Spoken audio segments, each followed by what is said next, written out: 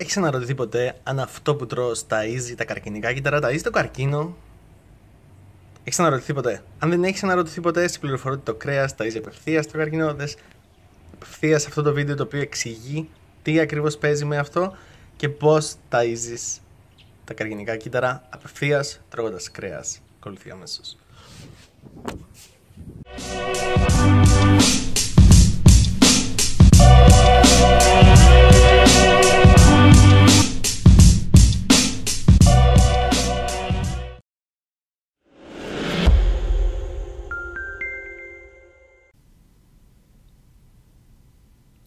We are now finally able to understand how tumors are able to trick our immune system to feed them with inflammation.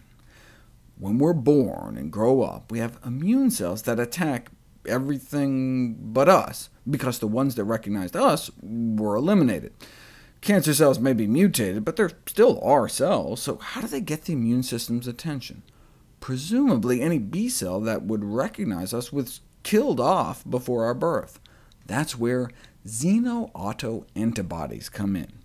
Xeno means foreign, as in xenophobia. Uh, auto comes from the Greek autos, meaning self, as in automobile, a self-moving vehicle, no horse required. But how can something be both xeno and auto, foreign and self?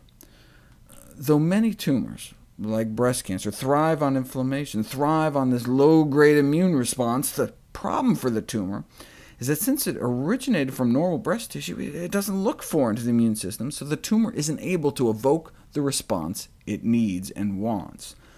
That's where NuGC comes in. Evidence for a human-specific mechanism for diet and antibody-mediated inflammation in carcinoma, cancer progression. See, Neu5Gc incorporation by the cancer confers a selective advantage to tumor cells that are best at accumulating Neu5Gc. Uh, by actively accumulating this foreign meat and dairy molecule coming from our diet into the tumor, the cancer may use it to trick our immune system into producing autoimmune antibodies, anti-Neu5Gc autoantibodies, which leads to the release of inflammatory compounds that enable the cancer to grow faster. The combination of uh, tumor-associated Neu5Gc and our circulating anti-Neu5Gc autoantibodies promotes tumor growth by inducing weak inflammation, causing infiltration of inflammatory cells, and enhancing angiogenesis, enhanced blood flow to the tumor. Our own tumors use what we feed on to get what they feed on.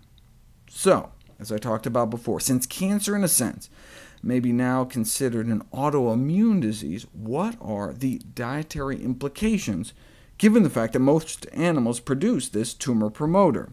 Well, we don't make Neu5Gc, at least we haven't for a few million years, and neither do plants. So to undermine our tumor's sneaky strategy, I guess it comes down to either cannibalism or a plant-based diet, or both, I guess. Importantly, these data are congruent with the decreased cancer risk associated with veganism.